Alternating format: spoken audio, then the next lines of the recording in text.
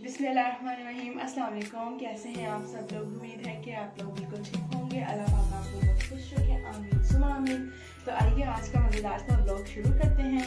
सबसे पहले किचन की सफ़ाई करने से पहले मैंने आज सोचा कि मैं अपनी ये वाली कबर्ड साफ़ कर लूँ। आप लोगों ने ब्लॉग्स में देखा होगा कि सबसे ज़्यादा कबर्ड ये वाली यूज़ होती है। तो मैं आपको खोल के दिखाती हूँ। ये देखिए। क्योंकि इसमें रोज़मर्रा की सारी चीज़ें पड़ी होती हैं, जैसा कि टी शुगर सब कुछ इसमें पड़ा होता है और ये सबसे ज़्यादा पूरा दिन ये यूज़ होती है। तो ये काफ़ी आज गंदी हुई थी, हर चीज़ आगे पीछे हुई है। तो आज मैं ये साफ़ करूँगी तो मैंने कहा मैं ब्लॉग में भी शेयर करती हूँ।